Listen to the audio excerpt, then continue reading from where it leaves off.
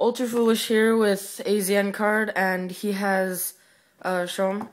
I have three structure decks today, or starter decks. You mean like starter? this. Shut up. So I will be opening only one. So let's get rid of these two. Yeah. So he's ultra foolish. He's very foolish. So fits his name. His And name. I am filming. hey, quiet you. Oh my god!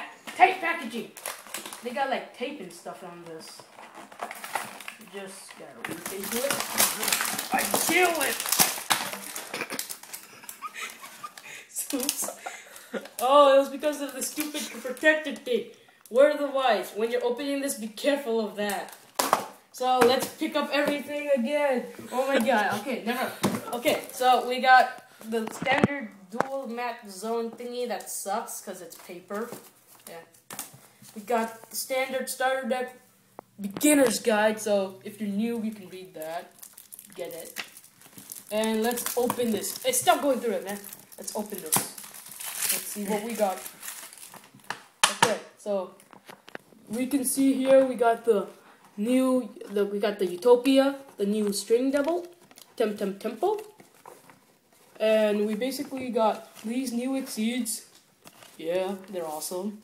And I'll quickly go over these cards. You can barely see them, but still, you know what's in this.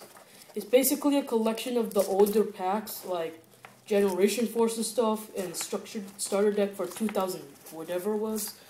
And yeah, this deck is pretty awesome. I dueled Ultra Foolish, and I pwned him many times. Did not. Yes, I did. No, Yes, I did. didn't. At school.